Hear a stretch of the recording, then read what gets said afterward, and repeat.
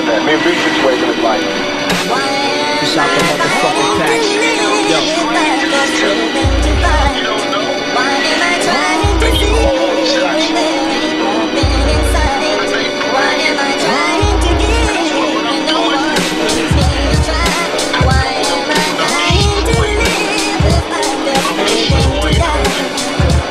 It, I grew up a fucking screw up. Got introduced to the game, got an ounce and fucking blew up.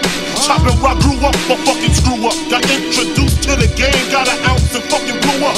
Chopping rocks overnight. The nigga Biggie Smalls trying to turn into the black Frank White. We had to grow dreads to change our description. Two cops is on the milk box missing.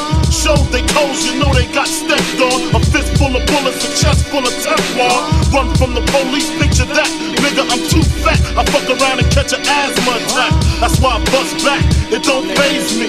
When he drop, take his Glock and I'm Swayze.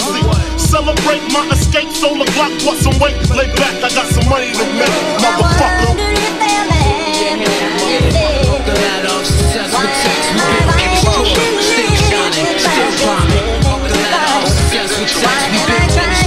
Still shining, still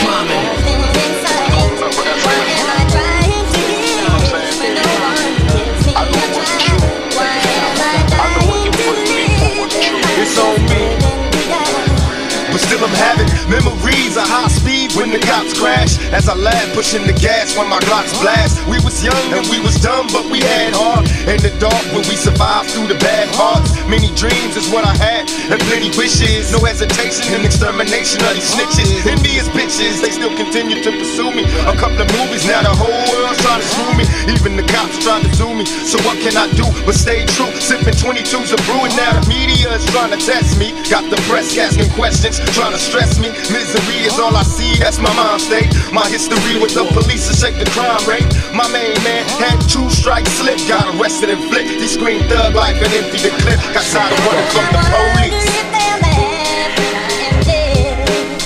more shocked than anything. You know what I'm saying? But I wasn't more shocked to him dying. I was more shocked to him. Pac is a strong dude, Joe. I know Duke. You know what I'm saying? He real strong. So when it was like he got shot, I was just more like again.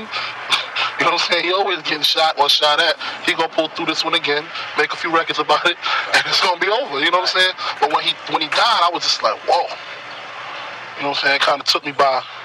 You know, even though we was going through our drama, I would never wish death on nobody. You know what I'm saying? Because ain't no coming back from that. From that. From that.